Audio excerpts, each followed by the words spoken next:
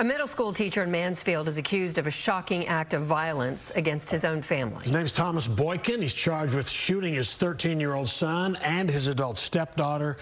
Neighbors tell us Boykin's wife ran out of the home screaming that her kids had been shot, banging on doors to try to get her help.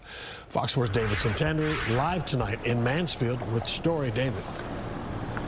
Yes, Stephen Heather. Somehow the suspect's son and stepdaughter are alive. They are said to be in serious condition at a hospital, but stable. So some good news there.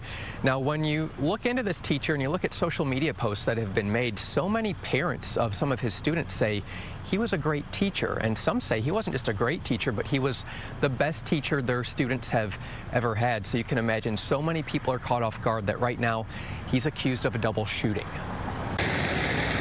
A Mansfield neighborhood was filled with screams Tuesday night after a middle school teacher, 52-year-old Thomas Boykin, allegedly shot his 13-year-old son and 21-year-old stepdaughter shortly after allegedly assaulting his wife. She was frantic. I mean, she was just screaming, loud as you can scream. Reagan Finch recalls the mother banging on doors throughout the neighborhood while repeating terrifying words. My husband is shooting my kids. At first, it was just a verbal argument, and then he actually assaulted the wife. At one point, he retrieved a handgun. He walked into his 13-year-old son's bedroom and shot him while he was sleeping.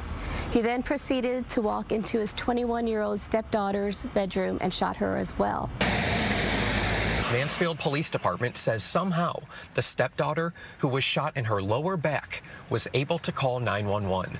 The boy was shot in his chest, but was able to walk out of the home as police arrived, three minutes after the call. They made contact with the suspect and got him in control. Boykin is charged with three counts of aggravated assault, family violence, serious bodily injury.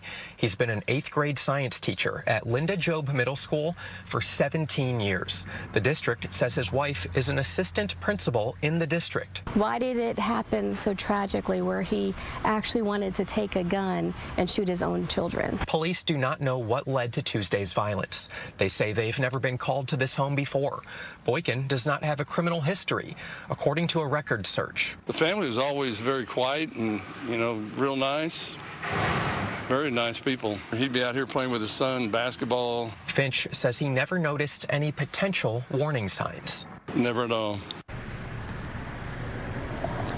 Mansfield ISD says Boykin was immediately placed on administrative leave and that the superintendent is moving forward with a proposed termination that just needs school board approval.